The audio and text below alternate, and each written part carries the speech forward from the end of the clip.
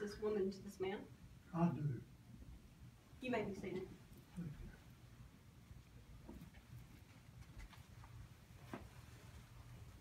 Y'all may be seated.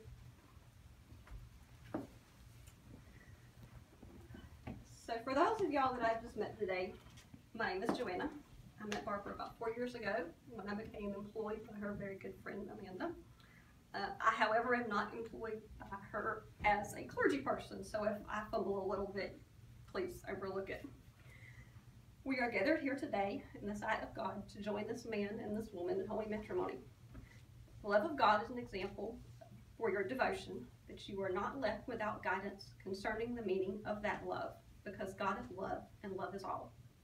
A wedding ceremony is the perfect place to read from Corinthians. Love is patient, love is kind, not envious or boastful or arrogant or rude. It does not insist on its own way and is not irritable or resentful. Does not rejoice in wrongdoing, but rejoices in truth. Love bears all things, believes all things, hopes all things, endures all things. And now faith, hope, and love abide, but the greatest is love. Remember, anything beautiful that you have came from love, and God is love. In the beginning, God gave us our free will and our identity to walk on this earth. Don't ever try to change each other because you won't like the end result. You will lose exactly what you fell in love with. So each day, try to find one different thing that is more beautiful in your mate than you saw the day before. Know that each day will be more beautiful than the last. As long as you do this, you're seeking beauty, love, and joy in each other. Barbara, do you take William to be your husband, to have and to hold, to love and to cherish, in sickness and in health, in good times and bad? I do. William, do you take Barbara to be your wife, to have and to hold, to love and to cherish, in sickness and in health, in good times and bad? I do. Barbara and William have now written vows that they will share. Barbara.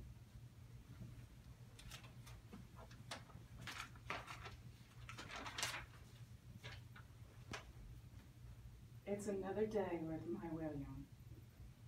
Here we are age 52 and 57. I feel like I'm 21 and you're 26. Starting our new journey together in this world. But it didn't happen that way because everything is in God's timing. I'm blessed to have a beautiful daughter and a handsome son. You are blessed with a handsome son as well. Finally, our paths have crossed through the power of the internet. Every time I received an email from you, I felt that fairy tale feeling. Your words were intriguing, and I kept wanting to know more about you.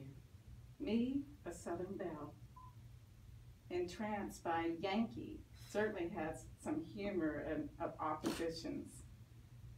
The moment we faced timed and I got to see your face and expressions in person, it gave me such warmth and happiness. I knew that once I saw your eyes in person, I would be taken away.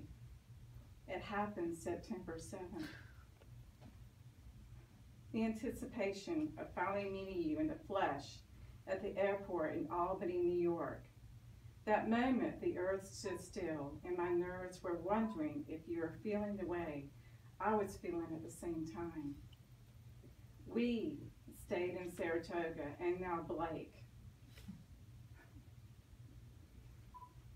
whom has captured a Yankee as well, will be moving up there to start her new journey in life. Again, God has put things in place in His own time. Our journey in New York was magical. For me, you showed me your property that gives you peace and happiness, and the sight of a new future cabin to build, which won't be far from where my little girl Blake will be living now. Funny how things happen to fall into place at the right time in our lives. We get to be hap- make happy memories there with our family grows with future grandchildren Christopher, my explorer. We'll get to explore the mountains there in the Adirondacks. I got to see where you lived, where you had moments of happiness. I was feeling your life's journey and take value in every step of your life. Then it was my turn to show you my past, the journey in my life. When you drove down to my home town from New York to me, non-stop, 1,400 miles. I was pinching myself. I never thought I would be so blessed, so honored to have a true, chivalry man to come take me in your arms for love. I welcome you in my hope, in, in my hope and in my arms. I took care of you, and I made a promise to take care of you as long as I live. I held you in my arms of affection. That night, I had tears in my eyes because I was so happy to be blessed in your love and affection and knowing that my mother and my daddy would finally meet you. William, the man of my dreams, my true knight in shining armor. And my mother and daddy will know that their daughter will, will never be alone again. She will be loved by a true gentleman. Of course, my mother was captured by your eyes as well. You charmed her with flowers each time you saw her. It was sad that my sweet mother only had two months here on earth to get to know you, but she's in heaven smiling on us now. I feel her with us in spirit every day. I talk to her constantly in spirit. And she lets me know by showing me the number 22 I see it often every day. And we saw it there yesterday, Beverly, didn't we? I don't think I could ever gone through the loss of my mother without your love and support. You holding me and comforting me as I watched my mother take her last breath. Again, all things happen in God's way. You were meant to be there for me at the right time. I'm glad I got the opportunity to visit your family in England over Christmas.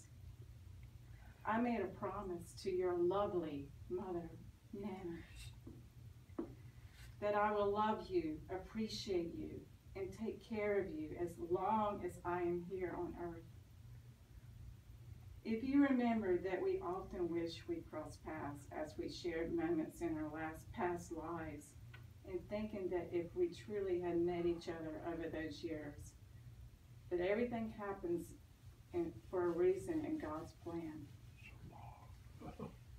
I think now at our age, we know to appreciate the value of true love and kindness and respect for each other.